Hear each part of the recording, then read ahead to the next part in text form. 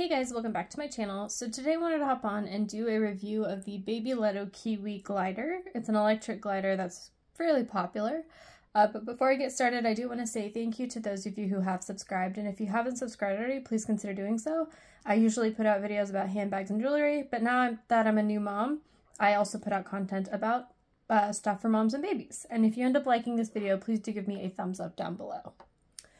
Um, so this is the Baby Babyletto Kiwi Glider.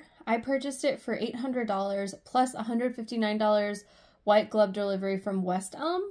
Um, you can buy this glider for $800 and move it yourself, but we paid for the extra delivery because I was obviously heavily pregnant and couldn't help my husband carry it up, and we didn't really have anyone kind of around to help us. Um, so what that means is that with tax, I paid nearly $1,000 for this glider. Um, and I'm actually going to go through and explain why I really regret this purchase, uh, especially because it was so expensive. Um, I will say I like agonized over this purchase. We went to Pottery Barn Kids two times, which is like an hour away drive from us to see it.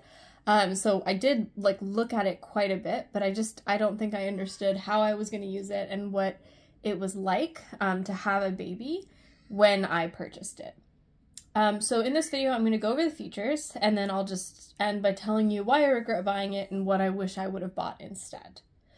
Um, so context, I am a first-time mom. My baby is um, five months old. So that's how, you know, that's the stage that we're in right now.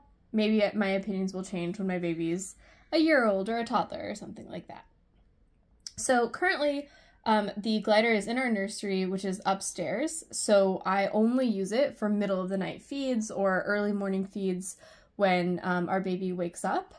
Um, but we don't use it during the day really because we're usually downstairs like in the living room. Um, so in terms of features, the glider obviously will rock. So, you know, rock like that. And the glider will also swivel. So you can move it um, like this and like this. It's fairly easy to move um, if you're holding your baby or if your hands are full or, you know, I'm 5'1", so my feet do touch the floor in order to rock and to swivel, so it's not a problem if you're a short person. Um, it, it definitely fits you. Um, the other things that the glider does is do an electric recline. So you just press these buttons here. The confusing thing is that the um, the button here is actually what brings the the footrest down, and the button here is what pulls it out. So you can see it coming up there. And when the um, footrest reclines, so does the back. So you can see I just moved it up a bit, so now the footrest is coming up and the back is reclining as well. I'm hitting the wall, so I should probably stop doing that. Um, but that is how the electric recline works. It, it is fairly quiet. It's pretty smooth. We haven't had any problems with it at all. And then the other feature is that it has um, USB plugs here. Uh, one thing that people often say in the reviews is that they don't like that this is on the inside of the arm, and I would agree with that. We actually don't use these at all because I would actually end up like when I was trying to sit down in the chair, knocking into the USB plugs that were there, and it was just like super uncomfortable. So we just have USB plugs elsewhere in the room to charge our phones and things like that. So in terms of why I regret buying this glider is um, honestly because I don't use the most expensive feature of the glider, which is the electric recline. Um, I thought what I would do is I would end up rocking our baby to sleep um, and then hold the baby while they nap um, and, you know, kick up my legs and kind of hold them like that. So there's two problems with this idea. For one, um, our baby does not fall asleep uh, from just rocking in, in the glider. I have to walk him around or bounce on a yoga ball. Um, it doesn't work to just rock to sleep. So in, in that sense, that's very baby specific, but like that's not something I used it for. Um, and then the other thing is because it's upstairs in our nursery, um, even if we did, you know, get him to sleep up here and then uh, want to do a contact nap in, in a glider or in a recliner, like there's nothing up here to do besides messing around on our phones. Um, instead, we like what we would do instead is just do a contact nap on the couch downstairs where we can actually watch TV or, you know, have access to all the thing other things in our house rather than just being in the nursery. Um, the only other time that we use the glider is in the middle of the night or early morning for feedings, and I would never lean back, um, you know, never recline during those um, times because I would be afraid that I would fall asleep holding him and drop him. Um, so really, like, there's no use right now for us for the electric recline. Again, that might change when our baby is older, but right now, um, uh, not. Um, so that's why I don't use the electric recline feature. Um, I will say that sometimes um, I do try to like rock him to see if he'll go back down. Um, but uh, I still don't use the electric recline feature on this glider when I'm trying to do that, and that's for two reasons.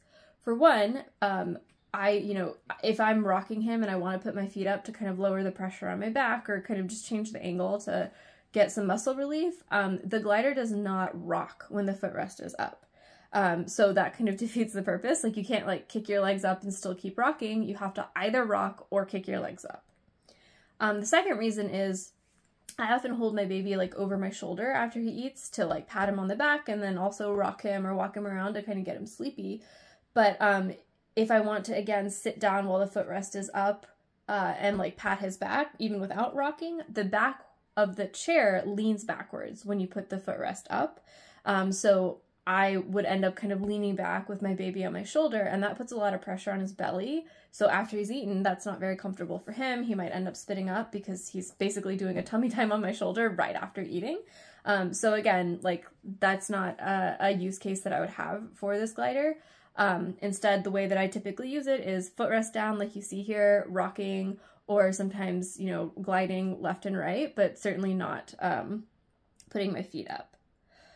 Uh, the last reason I don't really like this glider, and this is much more minor of a point, is because of the material that it's in.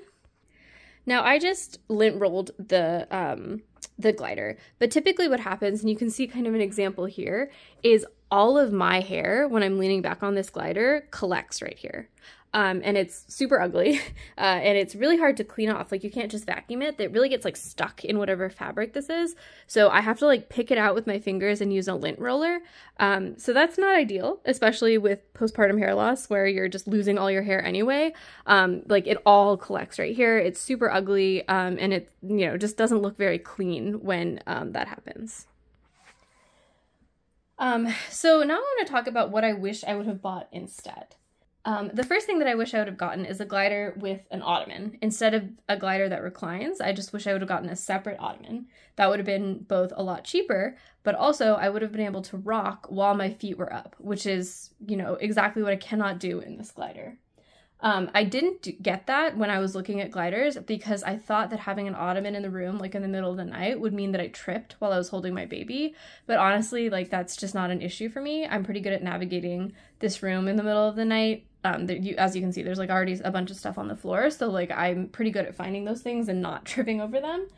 Um, and that would have also allowed me to uh, kick my legs up, be rocking, and also still have my back straight. So I wouldn't have that problem of having to lean back if I wanted my feet up.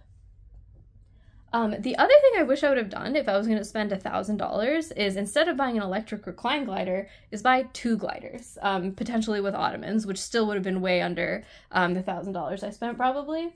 Um, the first for the nursery, like this room that you're looking at right now, and the second for the living room. Um, because, like I said, like if I wanted to do a contact nap or wanted to try to rock the baby to sleep, that's where our TV is. That's where all of our other like entertainment stuff is. So then I would have been able to sit in something relatively comfortable that I could rock and, you know, lounge in um, while I'm holding my baby in a space where I actually want to be during the day. Um, we do have a sectional and we do have a recliner that rocks, but it's um, not as smooth as a glider and not as easy to rock, especially because I'm a little bit short. Um, so it would have been nicer to have a glider down there. To to use. And you know i i will link some examples of the things that i'm talking about in the in the description box below. I went to a store recently and tried out the storkcraft glider that has an ottoman that's really inexpensive. I think it's under $200 um and that was super comfortable. So i wish i had just gotten two of those. We also wouldn't have had to pay for delivery because it's fairly lightweight. So we probably could have gotten it upstairs by ourselves. Um so yeah I just think instead of investing the $1,000 in this glider, I wish I would have just gotten something a little less expensive um, and gotten more versatility out of it. So that was my kind of uh, review of the Babyletto Kiwi glider. There's nothing wrong with it. It's just, uh, it's an item that I don't think I needed to buy for us. So thanks guys for watching. Let me know in the comments below if you have any questions or if you also have this glider and had any experiences with it. And I will see you next time. Bye.